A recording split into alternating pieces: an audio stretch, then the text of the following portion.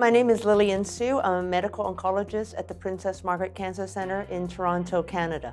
My name is David Hyman, and I'm the Chief of Early Drug Development at Memorial Sloan Kettering in New York. My name is Ellie Van Allen. I'm a medical oncologist at Dana-Farber, and I run a genomics lab at Dana-Farber and the Broad Institute. We're really seeing an explosion of new techniques for clinical trials, what even defines a clinical trial, medicines that can treat rare and rare populations, but with increasing degrees of effectiveness. We would all agree that we're pretty much at the beginning of understanding sort of how to leverage all the big data sets that we have and the discoveries that are happening to really make a huge impact for precision medicine more broadly. And I think at this time, there's now a huge opportunity to bring all the players under one roof to have this discussion and sort of, and in essence, map out how we're going to answer this question over the next five to 10 years. We have an exciting agenda. We have uh, obviously precision medicine, but not just uh, precision medicine we're used to seeing about molecular testing in the clinics. We have actually looking at real world data and how that precision medicine is actually applied.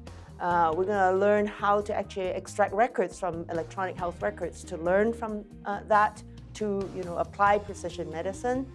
We'll also have topics about unique clinical trial designs and how to drug very difficult drug targets. We want to hear perspectives from the regulatory agencies.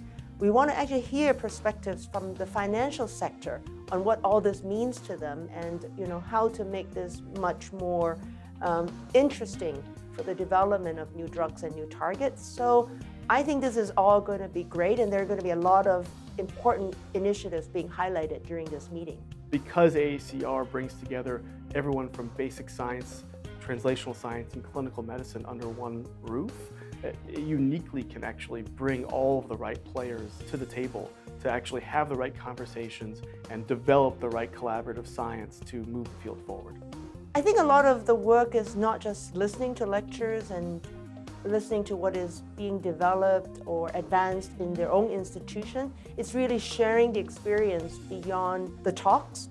The conversation behind the scenes and you know in the corridors probably is much, much, much more important than that because we can discuss a lot of things that are not being presented in lectures that can make that collaboration much more relevant and much more ready to go for the next step. So I think that's very important for the networking, for the collaborations, and for the sharing of information.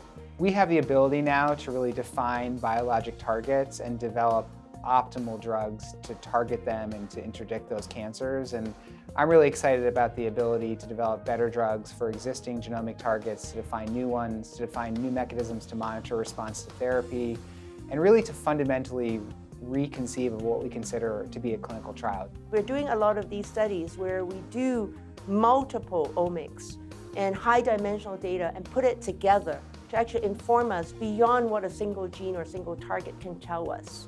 And it seems difficult, but I think we are at the point where we're able to do that quite well.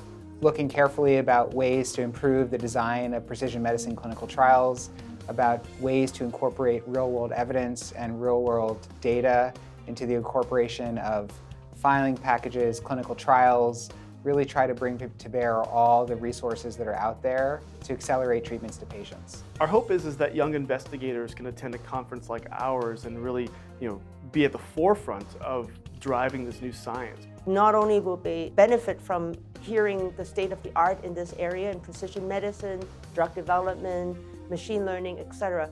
They get to meet a lot of the experts in the field and create collaborations and networking because it's so new and because it involves people from different disciplines, we want to you know, be ex expanded and welcoming as possible. Everyone from the new investigators all the way on up to AACR President Dr. Mardis, who's one of the co-chairs of this conference, we're all trying to solve this problem in real time. And so the more you know, bright young minds we can bring to the table, the better. I think a lot of young investigators have great ideas that they need to have a venue to discuss that. And I think such a meeting is a great venue for that.